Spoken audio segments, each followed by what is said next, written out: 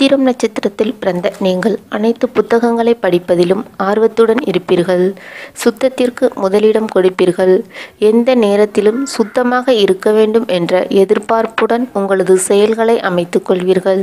மற்றவர்களிடம் நயமான முறையில் பேசி சிக்கலான சமயங்களிலும் திறமையாக சமாளித்து விடுவீர்கள். அனைத்து காரியங்களிலும் திட்டமிட்டே செயல்படுத்துவீர்கள். உங்களது அனைத்து செயல்களும் எதிர்காலத்தை முக்கிய குறிக்கோளுடன் கொண்டதாக இருக்கும். திறமையாக மற்றவர்களிடம் வேலை வாங்குவதில் சாமர்த்தியராய் இருப்பீர்கள்.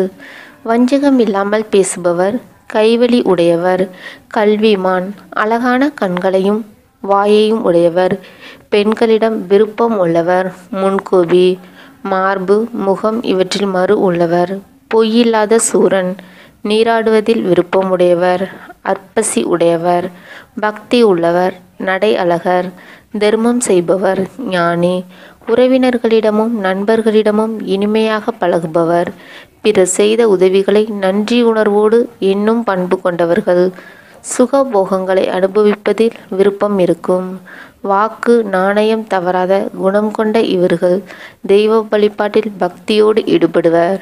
உத்திரம் முதல் பாதத்தில் பிறந்தவர் இனிய வசனம் பேசுபவர் புகழ் உடையவர் கண்ணியமானவர் தீரன் நல்லவர் சுற்றத்தார் மேல் விருப்பம் உடையவர் உத்திரம் இரண்டாம் பாதத்தில் பிறந்தவர் கருமி தரித்திரன் ஊன் விருப்பம் உடையவர் குற்றமும் சஞ்சலமும் உடையவர் யாகசம் செய்பவர்.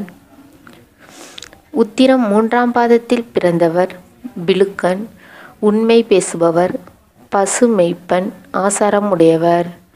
உத்திரம் நான்காம் பாதத்தில் பிறந்தவர் நன்றி மறவாதவர் பிறரை மதிக்காதவர் மற்றவரை துர்சிப்பவர் வாலிப வயதில் தாயை இழப்பவர்.